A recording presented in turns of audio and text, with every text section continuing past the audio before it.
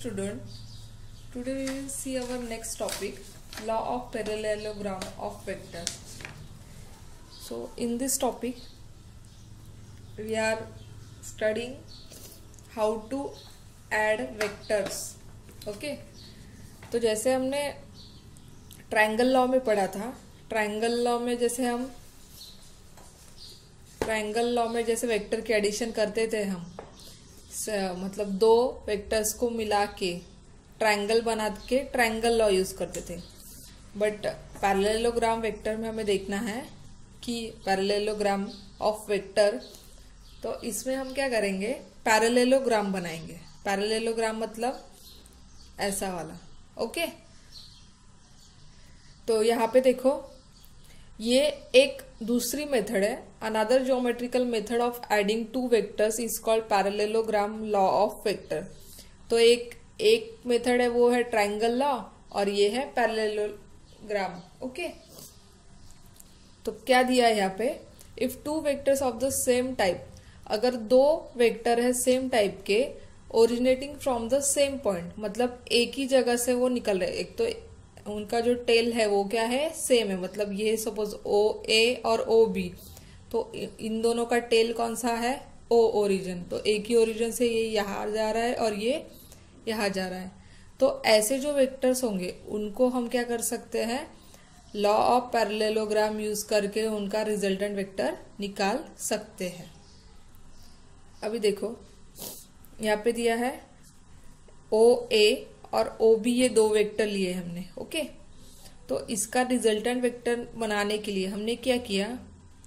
ओ ए को पैरेलल एक लाइन बनाई है, जिसका नाम है बी सी और ये दोनों तो ऑलरेडी वेक्टर थे ओके मैं ऐसा एरो दिखा देती हूँ मतलब।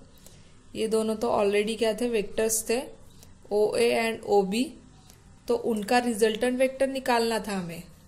मतलब पहले कैसा था ये? सिर्फ़ ऐसा।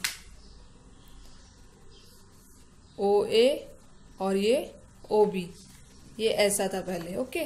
तो उसको हमें, उसका रिजल्टेंट वेक्टर निकालने के लिए हमने क्या किया इसको? एक इसको पैरेलल निकाली लाइन और एक इसको पैरेलल इसलिए इसको क्या बोलते हैं? Parallelogram okay? तो इसको पैरेलल और इसको पैरेलल ऐसे हमने क्या बनाया? पैरेललोग्राम बना दिया। और उसका जो डायगोनल होगा ये जो डायगोनल होगा उसका, ये क्या होगा? Resultant vector of two vectors तो ये हो जाएगा, ये resultant vector of O B और ओ ए का ओके तो सेम यहाँ पे दिया है तो देखो क्या किया है? इसको किससे डिनोट किया है? आर वेक्टर से. So R vector equal to P vector plus Q vector क्योंकि ओ ए को क्या, किससे रिप्रेजेंट किया है? पी से और ओ बी को क्यू से. So R vector equal to P plus Q क्योंकि इन दोनों का क्या है वो? एडिशन है ना? ये रिजल्टेंट है ओके तो यहाँ पे ये डायग्राम समझ गया? उसके बाद देखो इन फिगर 2.7 ये जैसे मैंने बताया O A vector equal to P vector and vector O B equal to Q vector represent two vectors originating from point O incline to each other at an angle theta तो देखो इनका जो angle है वो क्या है? Theta है। Theta मतलब क्या है? 90 डिग्री में। वी कंप्लीट द पैरेललोग्राम तो 90 डिग्री में है तो इसलिए हम क्या कर सकते हैं? इसको पैरेलल में बना सकते हैं। तो बना दिया तो पैरेललोग्राम हमारा बन गया। Then according to this law the diagonal O C vector equal to R vector represent the resultant vector तो इसका जो लॉ है, उसके हिसाब से जो डायगोनल बनता है, वो क्या दिखाता है? रिजल्टेंट वेक्टर दिखाता है। To find the magnitude of R vector तो हमें आर वेक्टर का अगर मैग्नीट्यूड निकालना होगा तो क्या करना पड़ेगा हमें? ड्रॉ अ परपेंडिकुलर लाइन तो क्या करेंगे हम? परपेंडिकुलर लाइन ड्रॉ करेंगे. सी से जो क्या पहुंचेगी? ओ ओ ए तक पहुंचेगी. मतलब यहाँ से इसको परपेंडिकुलर डालना पड़ेगा और ये यहाँ पे क्या करना पड़ेगा हमें? बढ़ाना पड़ेगा। मतलब ये क्या हो जाएगा? फिर एक ट्रायंगल बन जाएगा। तो ट्रायंगल बन जाएगा मतलब तो ट्रायंगल लॉ से भी हम इसको क्या कर सकते हैं? निकाल सकते हैं। तो हमने क्या किया इसको? ये देखो, ये सी था तो इसको यहाँ से परपेंडिकुलर डाला। और इसको क्या किया? यहाँ से थोड़ा बढ़ा दिया। और इसको नाम दिया है डी ओके? तो उसके बाद देखो, जब एक्सटेंड हो गया हमारा ये ये जब एक्सटेंड हो गया, उसके बाद क्या है? इन राइट एंगल ट्रायंगल तो ये ओसीडी क्या हो गया? 90 डिग्री है। ये 90 डिग्री है तो ये भी क्या हो गया? 90 डिग्री, ओके? तो ये 90 डिग्री जो बन गया है तो उस पर हम क्या कर सकते हैं?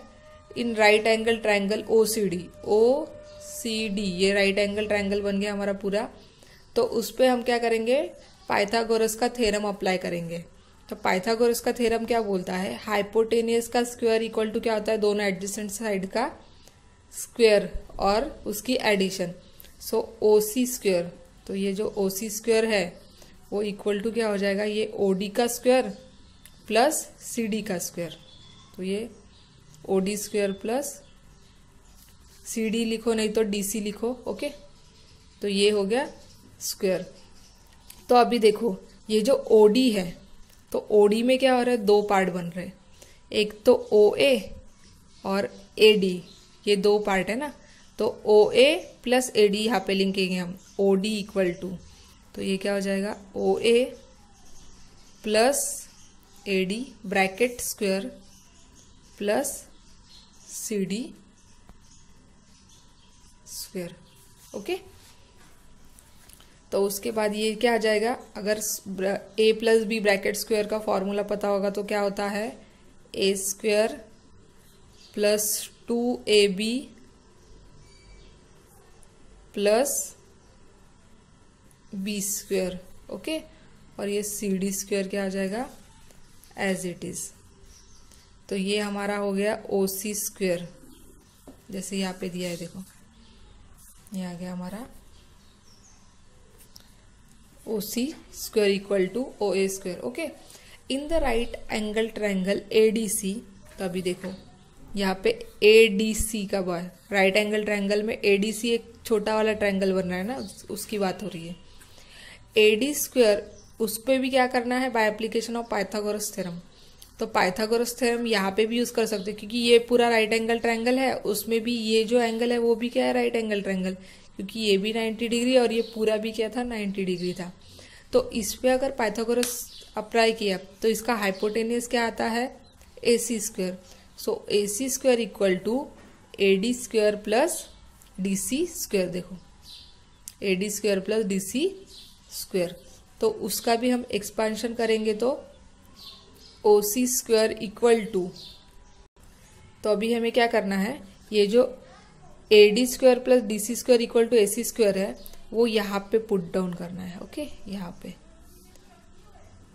तो ये इसके जगह पे हमें क्या डालेंगे? ए सी स्क्वायर तो ये क्या हो जाएगा फिर देखो। O A square plus two O A into A D plus A D square plus C square के जगह पे क्या डाला है? A C square okay also O A vector equal to तो O A vector equal to क्या दिखाया यहाँ पे हमने? पी दिखाया है ओके और ए सी इक्वल टू क्या दिखाया है? ओ बी क्योंकि ये दोनों क्या है, एक दूसरे को पैरेलल है तो A C equal to O B okay equal to क्या है? क्यू वेक्टर अगर पैरेललोग्राम है तो उसकी जो पैरेलल साइड है, वो क्या होगी? सेम होगी. इसका अगर क्यू वेक्टर है तो ये भी होगा क्यू वेक्टर ये पी है तो ये भी क्या होगा? पी वेक्टर तो यहाँ पे सब जगह पे क्या लिखा है हमने? ओ सी इक्वल टू अभी देखो ए सी ए सी और O B equal to Q vector O A और बी सी इक्वल टू क्या हो जाएगा फिर? पी वेक्टर और ये ओ सी ओ सी इक्वल टू क्या है? आर वेक्टर से रिप्रेजेंट कर रहे हैं। Okay in triangle C in triangle ADC तो ए डी सी में कॉस्थिटा इक्वल टू क्या है? Cos theta equal to A D plus A C तो कॉस्थिटा कौन सा है यहाँ पे? तो कॉस्थिटा यहाँ पे ये वाला एंगल तो cos theta equal to A D A D upon A C तो ये क्या हो गया? Cos equal to lower adjacent upon upper adjacent ऐसे बोलो, नहीं तो फिर ये जो एंगल है, इसके सामने की जो लाइन है, वो क्या है? ऑपोजिट अपॉन हाइपोटेनिस ओके तो cos theta equal to A D divide by A C ये क्या है? Cos theta cos theta equal to A D divide by A C okay so A D equal to A D equal to A C cos theta हमने ये जो लिखा है cos theta equal to A D divide by A C तो A सी को इधर कर लिया तो क्या हो जाएगा? यहाँ मल्टीप्लाई हो जाएगा। ओके और इक्वल टू क्या लिख सकते हैं हम? क्यू कॉस थीटा क्योंकि ए सी का जो वेक्टर है, वो क्या है? क्यू वेक्टर तो इसलिए हमने इसको ले लिया क्यू कॉस थीटा अभी ये जो है, ये जो वैल्यू है, वो हमें किसमें डालनी है? 2.7 वाले इक्वेशन में डालनी है। तो वो क्या आ जाएगा? O C square O C square किससे रिप्रेजेंट कर रहे हैं? R R square equal to, O A मतलब क्या है? पी स्क्वेयर तो P square plus Q two O A two क्या है? टू ओ ए क्या है हमारा? पी उसके बाद क्या है? ए डी क्या है? ए डी है Q okay so two P Q cos theta ये जो ए डी निकाला हमने। ए डी क्या है? क्यू कॉस थीटा और ये क्यू स्क्वेयर क्या है? A C square A C square क्या है? क्यू ओके तो वही वैल्यू पुट डाउन किया, आप ठीक से पढ़ोगे तो समझ में आ जाएगा। तो वैल्यू पुट डाउन कर दिया, अभी इसका स्क्वायर रूट हमें निकाल स्क्वायर निकालना था तो ये अंडर आ जाएगा स्क्वायर रूट के अंडर ओके तो स्क्वायर रूट के अंडर आ गई तो क्या हो गया ये? Equation gives us the magnitude of resultant vector R vector तो ये जो हमारा इक्वेशन निकला है तो वो क्या दिखाता है? रिजल्टेंट वेक्टर जो निकला है ओ सी वेक्टर तो वो ओ सी का ये क्या है? मैग्नीट्यूड है। जैसे हम मैग्नीट्यूड क्या होती है? नंबर्स में होती है ना? तो नंबर्स में जब हमें मैग्नीट्यूड निकालना होगा किसी रिजल्टेंट वेक्टर का तो हमें ये वाला इक्वेशन यूज़ करना है। तो इसको बॉक्स कर सकते हो आप।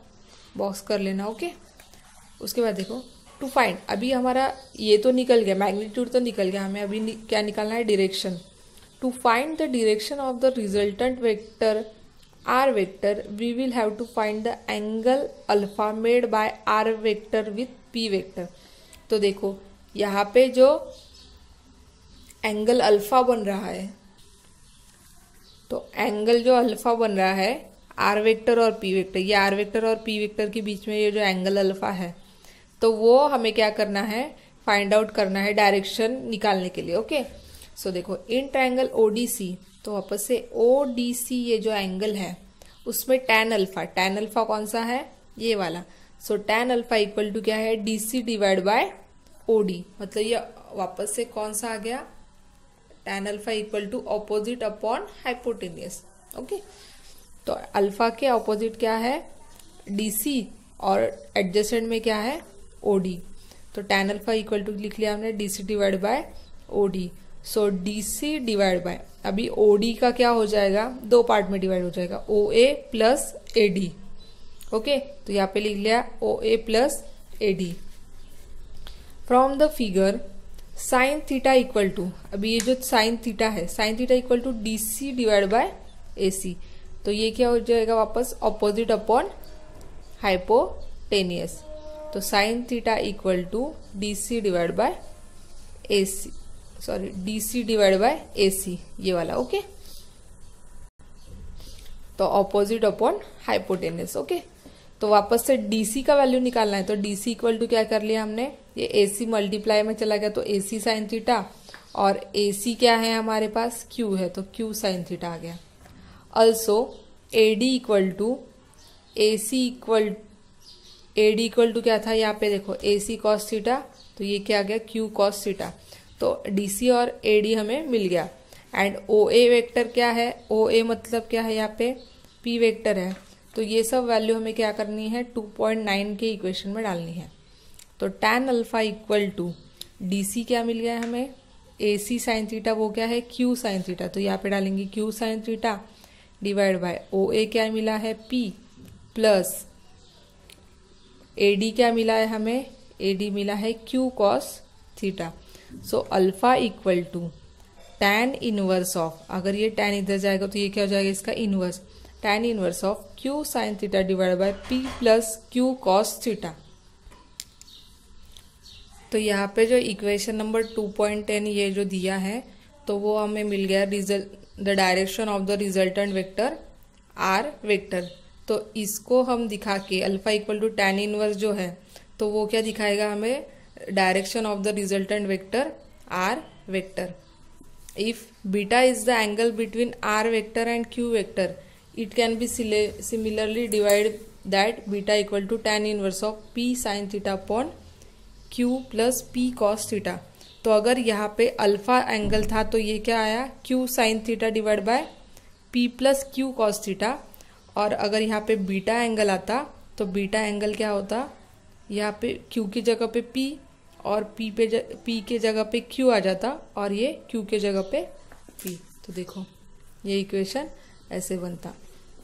तो हमें जब भी parallelogram law of vector addition पूछेंगे तो हम ये वाला इक्वेशन बताएँगे कि ये जो इक्वेशन बन रहा है तो उसका जो मैग्नीट्यूड निकालना होगा, तब हम ये वाला फॉर्मूला यूज़ करेंगे। और जब डिरेक्शन पूछा जाएगा, तब alpha equal to tan inverse नहीं तो beta equal to tan inverse ये वाला पूछेंगे। Good morning student today we are going to solve the examples on the basis of parallelogram law of vector so first example is water is flowing in a stream with velocity five kilometre per hour in an easterly direction relative to the shore okay तो यहाँ पे क्या दिया है कि water क्या कर रहा है? Flow in a stream stream मतलब आप नदी में जो पानी बहता है वो, या फिर स्ट्रीम मतलब ये भी ले कंटिन्यूस जो फ्लो होते रहता है तो वो आप ले ले सकते हो। रिवर में से जो वाटर कंटिन्यूसली फ्लो करता है, उसे बोलते हैं स्ट्रीम ओके तो वाटर स्ट्रीम में से बह रहा है with velocity five kilometre per hour five kilometre per hour इतनी वेलोसिटी है उसकी, और इन एन ईस्टर्ली डायरेक्शन तो वो क्या कर रहा है? ईस्ट में मतलब पूर्व दिशा में फ्लो कर रहा है। Relative to the shore relative to the shore मतलब किनारे के साथ साथ ओके तो देखो speed of a boat is relative to still water is twenty kilometre per hour तो यहाँ पे बोट का जो स्पीड है, वो किसके किसके जैसा है? Speed of a boat is relative to still water still water मतलब जो शांत पानी रहता है ना, उसे बोलते हैं still water is twenty kilometre per hour मतलब बोट की जो वेलोसिटी है, वो कितनी है? ट्वेंटी किलोमीटर पर आवर है. If the boat enters the stream heading north अगर क्या किया? बोट ने जो स्ट्रीम के हेड है नॉर्थ के साइड में, अभी ईस्ट में अगर वो बह रही है तो वो क्या करना चाह रही है? नॉर्थ की तरफ़ अगर जाना चाह रही है with what velocity will be the boat actually travel तो बोट कौन से वेलोसिटी के साथ ट्रैवल करेगी? क्योंकि बोट का जो स्पीड बताया था तो वो क्या था? जब यहाँ पे देखो ये फ्लो हो रहा है कंटिन्यूस अगर फ्लो हो रहा है सपोज़ कंटिन्यूस फ्लो हो रहा है, तब बोट की वेलोसिटी कितनी है? स्टील वाटर मतलब स्ट्रीम में फ्लो हो रहा है तो वो क्या हो गया? ट्वेंटी किलोमीटर पर आवर के स्पीड से वो जा रही है। लेकिन सडनली अगर ऐसे जाते जाते जाते जाते उसको क्या करना है? यहाँ से डायरेक्टली इधर मुड़ना है। इधर मुड़ना है मतलब उसका जो वेलोसिटी होगा वो कुछ चेंज होगा, क्योंकि यहाँ तक तो स्टील वाटर था। लेकिन यहाँ से क्या हो जाएगा? अपोजिट डायरेक्शन में जाने लगेगा तो उस वोट का स्पीड क्या हो जाएगा? ऑब्वियसली चेंज होगा। तो उसकी वेलोसिटी हमें निकालनी है ओके तो फ़र्स्ट तो देखो the resultant vector R vector of the boat can be obtained by adding the two velocities using triangle OAB shown in the figure. Magnitude of the resultant velocity is calculated calculated as follows. तो देखो हमने जो कल पैरेलेलो parallelogram का जो law देखा था उसमें हमने रिजल्टेंट वेक्टर निकालने का फॉर्मूला देखा था और वो क्या था वो देखो वो था R equal to under root of P square plus Q square plus two P Q cos theta okay तो यहाँ पे देखो, हमारे पास वेलोसिटी कौन सी कौन सी है? फ़र्स्ट तो वो हम देखेंगे। ओके तो पहले तो हमने क्या किया, ये ओ ओ टू ए एक तो पहले ट्रायंगल बनाया ट्रायंगल लॉ यूज़ करने के लिए। ओके तो ट्रायंगल लॉ यूज़ करने के लिए क्या किया हमने? O A twenty kilometre per hour मतलब ये क्या है? बोट का जो बोट क्या कर रहा था? स्ट्रीम वेलोसिटी के साथ ओके ये अभी यहाँ पे क्या दिया है? ईस्ट दिखाया है ओके तो यहाँ पे क्या है? ईस्ट यहाँ पे है, यहाँ पे नॉर्थ दिखा है ओके तो ईस्ट में जो बोट क्या कर रही है? फ्लो कर रही है तो वो उसका स्पीड कितना है? Twenty kilometre per hour okay यहाँ से ऐसे बोट ट्रा कर रही है। और उससे क्या किया उसने देखो? फाइव किलोमीटर पर आवर किसका फ्लो बोल रहा है? वाटर का फ्लो तो यहाँ से यहाँ बह रहा है, ये जो नाव है, और यहाँ पे इसका फ्लो कितना है? फाइव किलोमीटर पर आवर जो वाटर का है। Water is flowing in a stream okay तो देखो, यहाँ पे क्या है? वाटर क्या कर रहा था? Water is flowing with in a stream with velocity five kilometre per hour in an easterly direction okay तो क्या कर रहा है? वाटर तो क्या कर रहा है? इधर ईस्ट के डायरेक्शन में बह रहा है विथ अ स्ट्रोम यहाँ पे सपोज़ ये ऐसी नदी है तो यहाँ पे इसका क्या है? ये किनारा है। तो इस किनारे से ये वाटर क्या कर रहा है? ये ईस्टर ईस्ट डायरेक्शन में क्या कर रहा है? फ्लो कर रहा है ओके और जो नाव है, वो क्या कर रही है? यहाँ से O A speed of boat is, speed of boat क्या है यहाँ पे? ट्वेंटी किलोमीटर पर आवर है। अगर इस बोट को ईस्ट, ये स्टोर, शोर जो है तो वो शोर के हेड तक जाना है। अभी ये नाव ऐसे जाने वाली थी, अब इसको क्या करना है? इसके हेड तक जाना है मतलब नदी के इस टोक पे जाने का है। ओके? तो उसके लिए उसका वेलोसिटी क्या होगा? ऑब्वियस चेंज होगा। यहाँ पे ट्वेंटी किलोमीटर पर आवर था। तो यहाँ पे जाने के लिए उसको क्या करना पड़ेगा? वेलोसिटी चेंज करना पड़ेगा। तो वो कैसे निकलेगा? तो हमारे पास क्या है? एक तो वाटर क्या कर रहा है? इस डायरेक्शन में फ्लो कर रहा है। और सेकेंड जो है बोट क्या है? इस डायरेक्शन में फ्लो करेगी। तो इन दोनों को ज्वाइन करके आपको रिजल्टेंट वेक्टर तो मिल जाएगा। वैसे ही यहाँ पे किया है ओ ए और ए बी इन दोनों को मिलाओगे तो आपको रिजल्टेंट वेक्टर मिल जाएगा। तो वो उस, उसको किससे डिनोट करते हैं हम? आर से। ये हम ट्राइंगल लॉ में पढ़े हैं ओके तो देखो, और यहाँ पे जो एंगल बना है, वो क्या है? अल्फ़ा क्योंकि अल्फ़ा एंगल क्यों बन रहा है यहाँ पे? पहले तो ये स्ट्रीम वाटर का फ्लो था, और यहाँ पे ये नाव वापस चेंज करके क्या कर रही है? नॉर्थर्न डायरेक्शन में जा रही थी। तो इन दोनों के बीच का जो एंगल बना है, वो बना है अल्फ़ा ओके तो देखो, अभी रिजल्टेंट वेक्टर निकालना है तो R equal to under root of twenty square plus five square. So under root of क्या आ जाएगा फोर ट्वेंटी फाइव तो under root of four twenty five कितना आया है? Twenty point sixty one kilometre per hour अभी देखो, ये तो निकल गया इसका मैग्नीट्यूड मैग्नीट्यूड तो निकल गया। अभी क्या करना है हमें? डिरेक्शन बताना है। ओके तो अब डिरेक्शन के लिए क्या करेंगे? ये जो अल्फ़ा है तो इसको क्या बोलते हैं हम? टेन अल्फ़ा ओके तो यहाँ पे क्या करने का tan inverse tan inverse of five by twenty तो फाइव बाय ट्वेंटी कैसे लिया हमने? ये फाइव डिवाइड बाय ट्वेंटी तो फाइव बाय ट्वेंटी क्या आ गया? Tan inverse equal to zero point twenty five तो tan inverse zero point twenty five हम देखेंगे तो वो क्या आएगा? फोर्टीन डिग्री फोर मिनट तो इसका जो टैन इनवर्स हमने देखा है तो वो कैसे देखा है? हम लॉक टेबल में लॉक टेबल यूज़ करेंगे इसके लिए। तो tan inverse of zero point twenty five हमें देखना है। तो यहाँ पे क्या करने का? ये जो नेचुरल टेंजेंट का पेज है, वो निकालेंगे और उसमें क्या करेंगे? Zero point twenty five zero point twenty five हमें देखना है। तो यहाँ पे जो पॉइंट वाले दिख रहे हैं, ये पॉइंट वाले क्या है? ज़ीरो ये इसको क्या बोल रहे हैं? ज़ीरो डिग्री और यहाँ पे क्या है? मिनट्स है ओके ये डिग्री है, ये वाले डिग्री है और यहाँ पे क्या है? मिनट्स है। तो यहाँ पे ज़ीरो पॉइंट ट्वेंटी फाइव देखने का है। अभी zero point fourteen fifteen seventeen twenty four okay zero point twenty four है और उसके बाद क्या है? ज़ीरो पॉइंट ट्वेंटी सिक्स तो हमें क्या चाहिए? ज़ीरो पॉइंट ट्वेंटी फाइव चाहिए तो हम क्या करेंगे? इसे कंसिडर करेंगे zero point twenty four ninety three अब इसके अंदर कितना ऐड करेंगे, तब क्या हो जाएगा? ट्वेंटी फाइव होगा ज़ीरो पॉइंट ट्वेंटी फाइव तो उसके लिए हम यहाँ पे मीन डिफरेंस के कॉलम में आएँगे।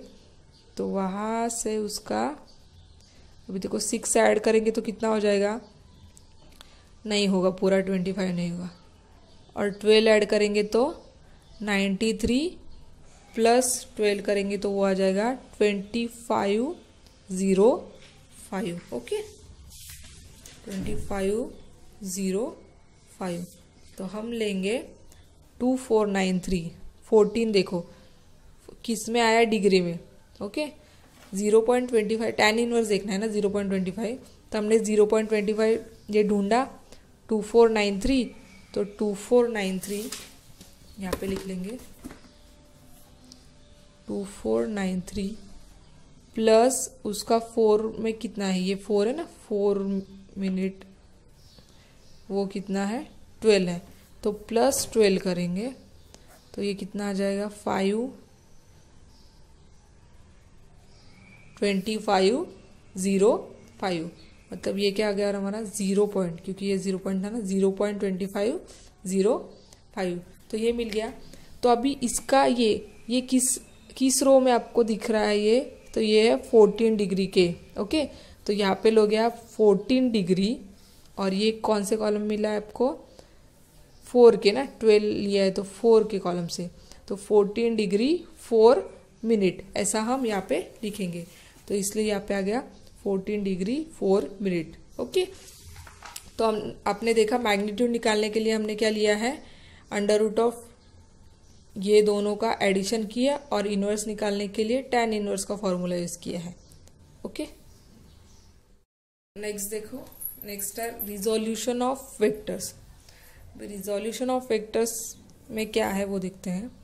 A vector can be written as a sum of two or more vectors along certain fix directions okay तो वेक्टर जो होते हैं, वो हम अलग अलग फॉर्म में नहीं तो सम of two or more vectors दो और तीन वेक्टर्स और उससे ज़्यादा होंगे तो उनके वेक्टर्स को हम कंबाइन करके मतलब सम करके भी लिखते हैं okay thus a vector V vector can be written as तो ये वी वेक्टर जो है वो हम ऐसे ले सकते हैं V one alpha one cap plus V two beta cap plus V three gamma cap तो यहाँ पे जो A cap alpha cap beta cap और गैमा कैप होंगे, वो क्या होंगे? यूनिट वेक्टर्स होंगे अलॉन्ग चूजन डायरेक्शन तो सपोज़ अल्फ़ा हो गया एक्स डायरेक्शन के लिए और बीटा हो गया वाई के लिए और गैमा हो गया जेड डायरेक्शन के लिए. तो ये क्या हो जाएगी? इसके यूनिट वेक्टर हो जाएँगे okay okay? v1 v2 and v3 are known as component of v vector तो ये v1 v2 क्या है? कंपोनेंट है। और ये क्या है? यूनिट वेक्टर्स है। ओके तो जैसे आप देखोगे सपोज़ यहाँ पे मैंने दिखाया है, ये एक्स है सपोज़ ये है वाई और ये क्या है? जेड ओके और इसको जेड डायरेक्शन में, अभी ये वी वन है, ये वी टू और ये क्या है? वी थ्री तो ये V one V two V three क्या हो गए? कंपोनेंट्स ऑफ़ वी वेक्टर मतलब वेलोसिटी के क्या हो गए? ये कंपोनेंट्स है। और यहाँ पे अल्फ़ा अल्फ़ा क्या है? अल्फ़ा कैप ये हो गया वी वन का यूनिट वेक्टर यहाँ पे लिखा बीटा कैप तो ये हो गया वी टू का यूनिट वेक्टर और यहाँ पे लिखा सपोज़ गैमा कैप तो ये हो गया वी थ्री का यूनिट वेक्टर ओके तो ये क्या है? अलग अलग डायरेक्शन के लिए हम यूज़ करते हैं। The process of splitting a given vector into its components is called resolution of the vector तो यही हम जो स्प्लिट करते हैं कंपोनेंट्स को अलग अलग डायरेक्शन में, उसको ही क्या बोलते हैं? रिजोल्यूशन ऑफ़ वेक्टर्स बोलते हैं। The components can be found direction at any required angles, but if these components are found along the directions which are mutually perpendicular, they are called rectangular components. तो देखो, ये components अगर एक दूसरे को क्या करेंगे? म्यूचुअली परपेंडिकुलर दिखाएँगे। जैसे यहाँ पे एक्स है वाई है, ये दोनों क्या एक दूसरे को परपेंडिकुलर दिखाएँगे तो उसको क्या बोलेंगे? हम रेक्टेंगुलर कंपोनेंट्स बोलेंगे। ओके तो देखो let us see how to find rectangular components in two dimensions तो अभी रेक्टेंगुलर कंपोनेंट्स हम कैसे दिखाते हैं तो वो हमें देखना है। तो पहले करेंगे consider a vector R vector तो यहाँ पे जो आर वेक्टर दिया है यहाँ पे तो वो हमें कंसीडर करना है। तो आर वेक्टर क्या है? ओ सी वेक्टर ओके कि R vector equal to O C originating from the origin of a rectangular coordinate system as shown in figure 2.8 तो यहाँ पे देखो ओरिजिन क्या है यहाँ पे? ओ से, क्योंकि यही से क्या हो रहा है? एक्स में भी जा रहा है और वाई में भी जा रहा है। तो यहाँ से ही क्या निकला है एक? आर वेक्टर निकला है O C okay drop perpendicular from C that meet the axis at A and Y axis at B तो अभी देखो, यहाँ पे क्या किया पहले? सिर्फ़ एक कंपोनेंट लिया है ओके मतलब पहले क्या था? दो एक्स और वाई थे, ओके? ये एक्स था और ये वाई था। तो यहाँ से एक कंपोनेंट गया था जो था O C, R vector, okay? तो अभी इसको हम क्या करेंगे? रेक्टेंगुलर फॉर्म में आने के लिए इसको यहाँ से एक परपेंडिकुलर डाला, जिसको नाम दिया ए, और यहाँ से परपेंडिकुलर डाला, उसको नाम दिया B, okay? O A vector equal to R X तो जैसे मैंने बोला अलग अलग डिरेक्शन में अलग अलग कंपोनेंट होते हैं तो इसको क्या बोलेंगे? आर एक्स वेक्टर तो ये आर क्या हो गया इसका कंपोनेंट और एक्स क्या हो गया ये? आर एक्स बोल रहे तो एक्स क्या हो जाता है? यूनिट वेक्टर ओके तो ये हो गया आर एक्स और O P vector equal to R Y तो ये जो ओ बी है, उसको बोलेंगे हम आर वाई ओके अभी यहाँ पे आप सिंबल नहीं दिखाओगे तो भी चलेगा, क्योंकि यहाँ पे क्या डिरेक्शन दिखाई होती है, नहीं दिखाओगे तो भी चलता है okay R X and R Y being the components of O C vector तो ये जो आर एक्स और आर वाई ये किसके कंपोनेंट है? ओ सी वेक्टर के कंपोनेंट्स है along the X and Y axis क्योंकि ओ सी क्या था? पहले मेन कंपोनेंट था ओके ये जो मेन था ओ सी वेक्टर तो उस उससे ही हमने क्या किया? परपेंडिकुलर डाल के एक्स और वाई एक्सिस पे बनाए हैं। तो ये आर एक्स और आर वाई किसके कंपोनेंट हो गए? ओ सी के okay then by the law of parallelogram of vectors तो अभी पैरेलेलोग्राम ऑफ़ वेक्टर हमें यूज़ करना है। तो वहाँ पे क्या करेंगे? क्या होता है? दो वेक्टर्स के एडिशन करते हैं हम okay so R vector equal to R X plus R Y ये जो आर वेक्टर है, ये आर वेक्टर किसके बराबर है? R X plus R Y के। So R X vector plus R Y vector और देखो अभी यहाँ पे आई कैप और जे कैप क्यों है? क्योंकि एक्स का कंपोनेंट क्या हो जाएगा? एक्स का यूनिट वेक्टर क्या आएगा? आई कैप और वाई का यूनिट वेक्टर क्या आएगा? जे कैप ओके सो ये हो जाएगा R I cap, R X I cap plus R Y J cap. Okay? Where I and J are unit vectors along the X and Y axis. तो x में रहेगा तो आई, Y में रहेगा तो जे, और जेड में रहा तो के। ऐसे यूज़ करते हैं। एक्स के जेड के लिए क्या करते हैं? के यूज़ करते हैं। And R X and R Y are the magnitude of the two components of R vector. तो यहाँ पे आर एक्स और आर वाई क्या दिया है यहाँ पे components of magnitude of two components तो ये दो कंपोनेंट्स के क्या है ये? मैग्नीट्यूड है। Let theta be the angle made by R vector with the X axis okay तो यहाँ पे जो एंगल बन रहा है यहाँ पे ये थीटा तो ये थीटा क्या है? आर वेक्टर की वजह से बन रहा है। Okay okay? Theta be the angle made by R vector with the X axis. तो ये जो आर वेक्टर है और ये एक्स एक्सिस, इसके बीच में जो एंगल बन रहा है, वो बन रहा है थीटा। तो ये थीटा क्या है? Cos theta. तो इस कॉस थीटा को हमें निकालना है तो इसका फॉर्मूला पता है, कॉस थीटा इक्वल टू क्या होता है? Adjacent upon hypotenuse. Adjacent side upon hypotenuse तो कॉस थीटा इक्वल टू तो एडजेसेंट साइड क्या है? ये है आर एक्स आर एक्स क्या एडजेसेंट एंड हाइपोटेनियस क्या है? आर वेक्टर ये ट्रायंगल कंसिडर किया है ना? तो एडजेसेंट साइड ये थीटा एंगल इसके एडजेसेंट साइड क्या है? आर एक्स और हाइपोटेनियस क्या है? R vector so cos theta equal to R X divide by R so R X निकालना है तो ये आर कॉस थीटा यहाँ पे चला जाएगा और वैसे ही साइन थीटा लेना होगा। तो साइन थीटा इक्वल टू क्या है? आर वाई अपॉन आर तो साइन थीटा यहाँ पे अगर एंगल आएगा, ये वाला एंगल ओके तो ये वाला एंगल अगर आप कंसिडर करोगे तो यहाँ पे भी क्या आएगा? एडजेसेंट अपॉन हाइपोटेनियस इस एंगल के लिए। क्योंकि ये किसके बीच में बना है? ओ सी और वाई एक्सिस के बीच में। तो ये वाला एंगल साइन थीटा तो आर वाई अपॉन आर ये बन गया आपका R Y equal to R sine theta तो कॉस थीटा और साइन थीटा ये निकल गया हमारा। आर एक्स और आर वाई की वैल्यू निकल गई। अब हम एडिशन करेंगे क्योंकि हमें रिजल्टेंट वेक्टर का फॉर्मूला यूज़ करके वो निकालना है।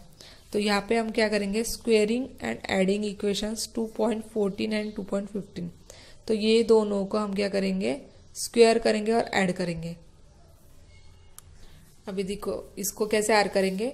ऐड करेंगे ये वाली टर्म और ये वाली टर्म इसको पहले स्क्वेयर करके ऐड कर देंगे। So R square cos square theta plus R square sine square theta. अब ये इक्वल टू में क्या है? आर एक्स और आर वाई। तो आर एक्स स्क्वेयर प्लस क्या हो जाएगा? R Y square. ओके? तो फिर देखो, आर स्क्वेयर इक्वल टू। अभी cos square theta plus sine square theta क्या हो जाता है? वन। ये आर स्क्वेयर कॉमन निकालोगे और यहाँ पे लिखोगे cos square theta plus sine square theta equal to R X square plus R Y square. तो ये इसकी वैल्यू तो हो जाएगी वन तो बचेगा क्या सिर्फ़ R square equal to R X square plus R Y square. और आर इक्वल टू इसको क्या डाल दोगे आप? अंडर रूट में। So R X plus R Y. तो ये क्या मिल गया हमें? मैग्नीट्यूड मिल गई। Magnitude of R vector. Okay, इसके बाद क्या करेंगे देखेंगे डायरेक्शन कैसे निकालना है। तो डायरेक्शन के लिए फॉर्मूला है tan theta equal to R Y by R X okay तो देखो tan थीटा इक्वल टू क्या किया है? R Y by R X okay तो R Y by R X लिया सो so, थीटा निकालना है theta equal to tan inverse of R Y by R X okay similarly तो अभी देखो यहाँ पे आर वाई और आर एक्स ये ऐसा फॉर्मूला निकाल के आप डिरेक्शन निकाल सकते हो ओके थीटा एंगल निकाल सकते हो। X R Y and R Z are the rectangular components of R vector along the x and xy and z axis of the rectangular cartesian coordinate system in three dimension in three dimensions then r vector equal to तो देखो अगर are x R Y और are Z ये क्या होते हैं rectangular components होंगे होते आर वेक्टर के रेक्टेंगुलर मतलब जेड भी जेड के डायरेक्शन में भी होगा, जैसे मैंने आपको ये वाला बना के दिखाया। तो इसके अगर यहाँ पे भी होता जेड में, ये होता फिर ऐसे रेक्टेंगुलर में आ जाता तो फिर क्या होता? तो फिर हम क्या लिख सकते थे वहाँ पे?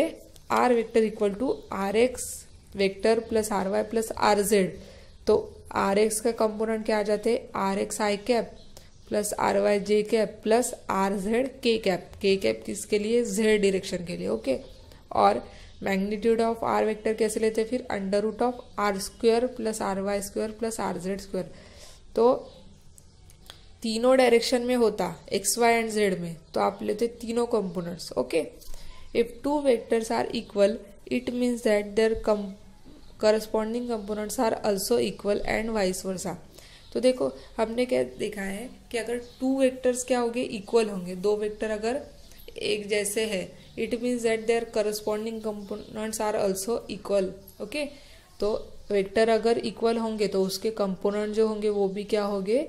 इक्वल होंगे और वाइस वर्सा नहीं तो फिर, नहीं तो फिर क्या है? कंपोनेंट्स अगर इक्वल होंगे तो वेक्टर भी क्या होंगे? इक्वल होंगे।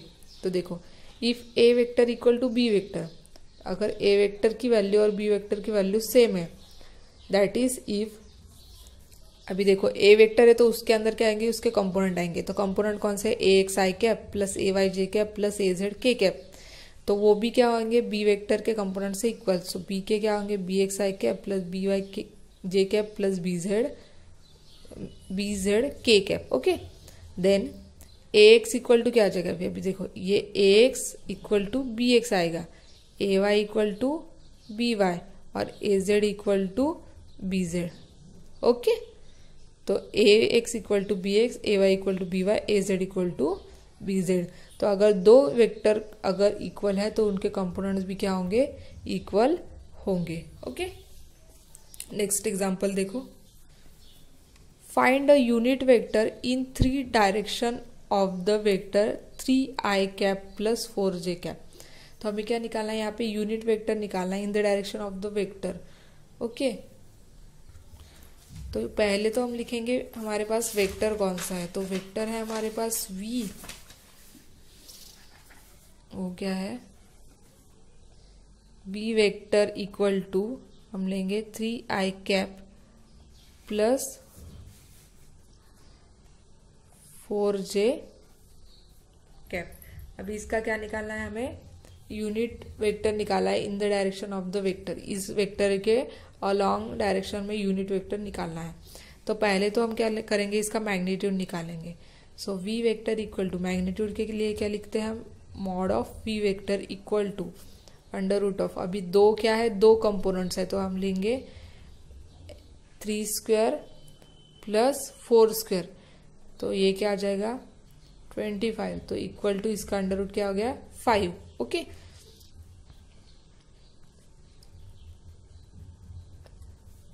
तो वैसे ही अभी क्या निकल गया? ये हमारा मैग्नीट्यूड निकल गया। हम क्या करेंगे? अब डिरेक्शन निकालना है।